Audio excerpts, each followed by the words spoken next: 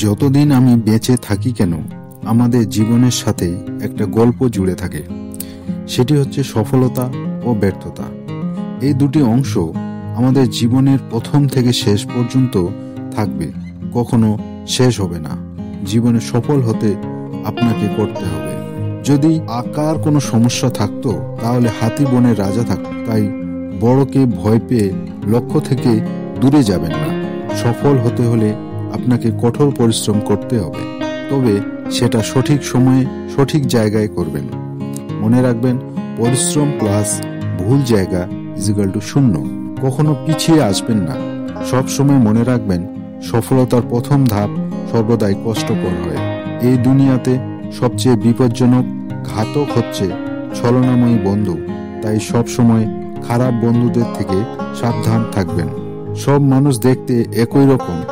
যেমনটা আমরা দেখে থাকি চিনি এবং লবণের মধ্যে। আপনার যাকে ভালো লাগবে, বেছে নিন।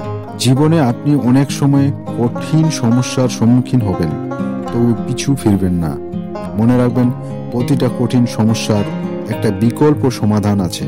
কখনোই আপনার সাথে অন্য কাউকে তুলনা করবেন না, কারণ প্রত্যেক মানুষের আলাদা আলাদা গুণ রয়েছে। আপনি কিসের পিছনে দৌড়াচ্ছেন, তা একবার মরার আগে ভেবে দেখুন। সুখী হওয়ার জন্য আপনার বেশি টাকার প্রয়োজন নেই। প্রকৃত সুখ আপনি অল্প টাকায়ও পাবেন। যদি সেখানে ভালোবাসা থাকে, সবার সাথে ভালো ব্যবহার করুন, বিপদে সাহায্য করার চেষ্টা করুন, জীবনে কার প্রয়োজন, কাকে লাগবে, তা বলা যায় না। কখনো হাল ছাড়বেন না, মনে রাখবেন, একবার না পারিলে দেখো শতবার। আপনার মস্তিষ্ককে সবসময় ঠান্ডা রাখুন।